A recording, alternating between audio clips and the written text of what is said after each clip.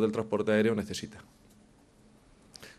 Eh, como les digo, estamos, vamos a seguir negociando a lo largo del día de hoy y seguiremos negociando eh, continuamente, eh, hoy, mañana, hasta tanto lleguemos a un acuerdo que creemos que hay elementos de, de, los elementos de fondo pues permiten llegar a un acuerdo y yo creo que salvadas las incertidumbres que un cambio siempre genera en en empleados que actualmente pues están en una empresa como ENA que tiene 20 años de existencia, pues bueno, podremos llegar a acuerdos que den esa tranquilidad y que permitan cuanto antes desconvocar eh, el conflicto que, lamentablemente no solamente afecta a ENA, sino a todos aquellos usuarios de los aeropuertos, que son muchos.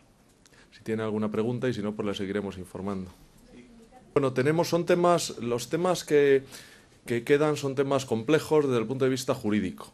Como digo, los elementos básicos están resueltos, es decir, cada, cada trabajador actualmente en AENA mantiene su empleo y mantiene sus condiciones de trabajo.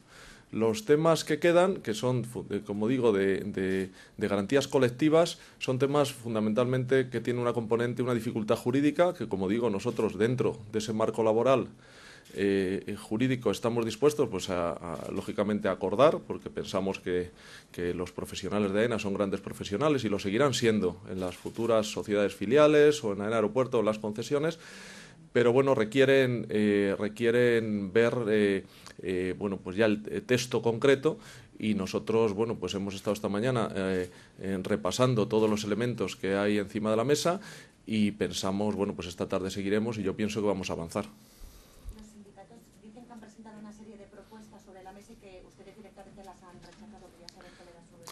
Bueno, nosotros eh, estamos dispuestos a estudiar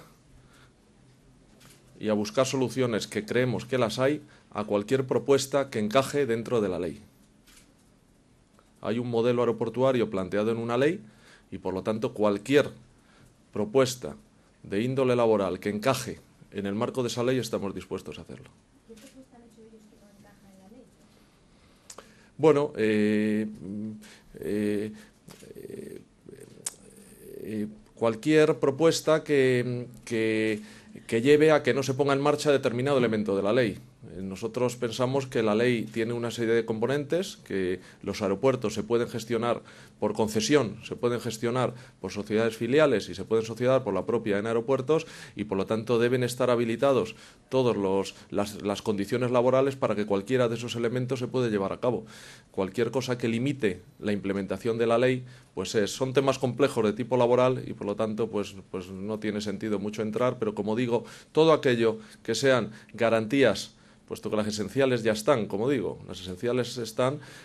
Por nuestra parte, eh, vamos a hacer todos los esfuerzos que están en nuestras manos. Es decir, que es, como digo, es primero, dedicación absoluta a este tema y continua, es decir, nosotros queremos estar negociando de forma continua hasta que este conflicto se resuelva y segundo, eh, tenemos eh, voluntad de llegar a acuerdos, como insisto, los principales elementos de, garantías laborales están resueltas y en el otro aspecto de, garantías colectivas o, convenio colectivo, eh, estamos dispuestos a todo aquello que sea jurídicamente viable y que no limite para nada la necesaria competitividad y eficiencia del sector aeroportuario que se necesita en los próximos años.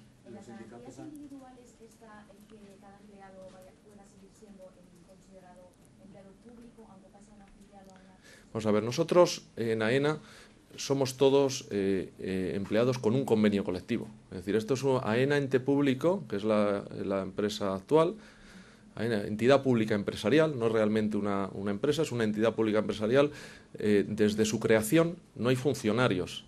Eso es una cosa que me gustaría aclarar. Desde el año 91, desde hace 20 años que se creó AENA, no hay funcionarios. Algunos funcionarios de aquel momento pidieron la excedencia y pasaron al convenio colectivo de AENA.